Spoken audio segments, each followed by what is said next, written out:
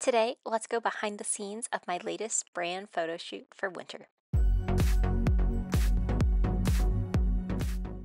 Welcome, I do sewing and DIY related content, and today we're going behind the scenes for my latest brand photo shoot. So, in the spring, I did some brand photos which were so fun and turned out so well, and I've actually used these on a lot of my social media and Etsy. And today, I'm going to be taking you along when I did my brand photo shoot for this upcoming winter.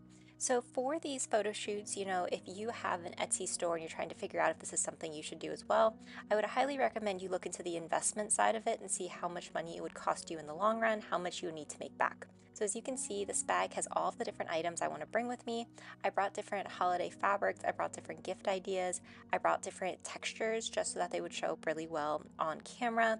I even tried to find like green, red, and white items so that it would look like Christmas and the holidays. I went ahead and made a couple of my patterns also using holiday fabrics. I do think for this one I did change the ribbon because I thought the green ribbon looked better than the yellow.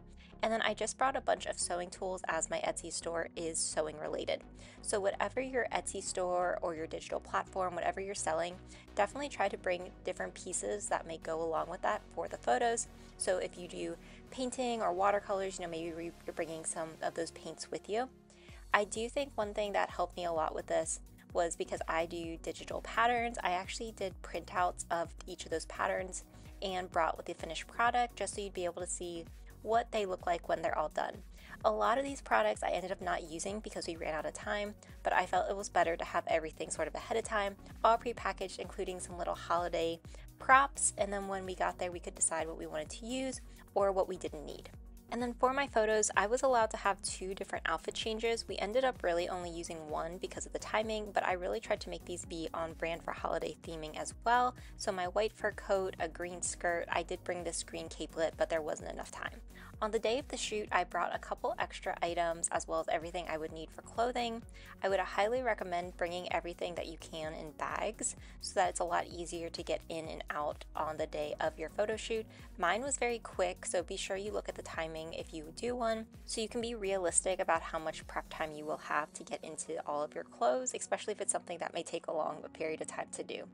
Once I had all of my clothes put together though, it was then time to head to the studio location. Now, we ended up using a studio because this was a mini brand shoot, so she had about four or five different clients coming in, so they were about 20 minutes.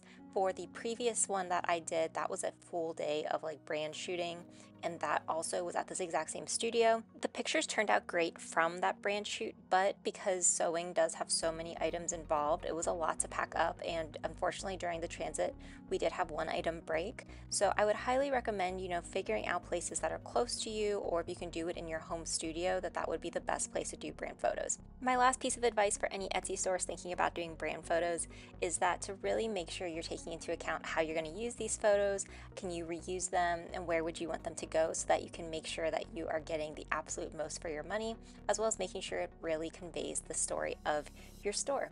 Stay tuned for the photos. Thanks for watching. Be sure to like, comment, and subscribe.